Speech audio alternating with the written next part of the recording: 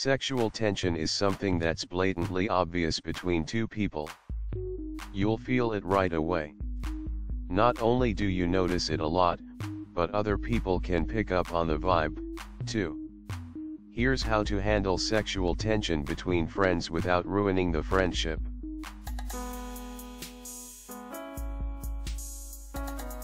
Hello, welcome to my channel, Redefine Your Relationship where we give you all the valuable information you need to take your relationship to the next level.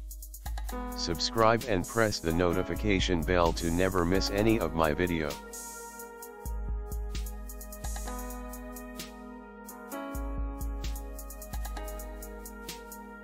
Sometimes, you might think you can't get past it without just going for it. If you think that might be hard for you, we are here to help.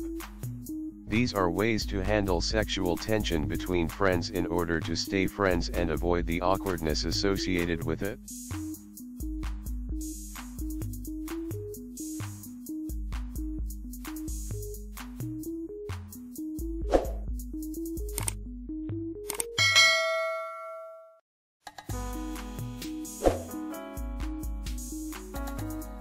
Number 1.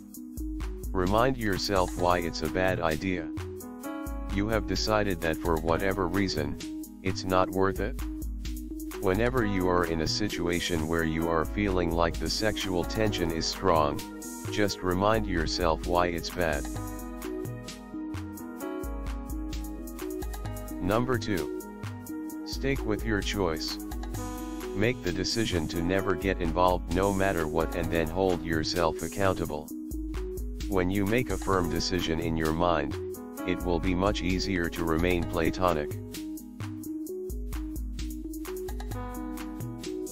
Number 3. No touching. In order to remain platonic, you have to avoid touching them. If you have physical contact, it will only make those sexual feelings much stronger. So, for your own sake, stay away from them physically. Number 4. No flirting. When you have sexual tension between friends, it's crucial that you ignore their flirtatious advances. You also have to watch out for your own flirting. Keep all of your flirty comments to yourself and you will be just fine.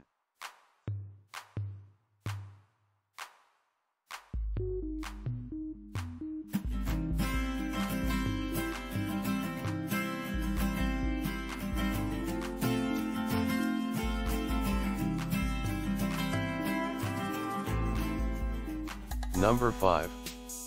Don't spend alone time together. No matter what, don't be alone in the same room together. You need a buffer. Have another friend with you or just remove yourself from that situation if you want to keep the friendship intact. Number 6. Ask a friend for help. It's great to have someone else around who can see the sexual tension between friends and is able to stop it.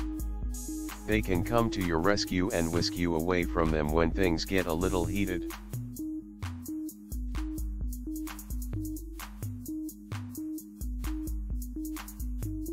Number 7. Never make sexual jokes with them. The worst thing you can do when you have sexual tension with a friend is to make sexual jokes. You never want them thinking about you in a more sexual way than they already do.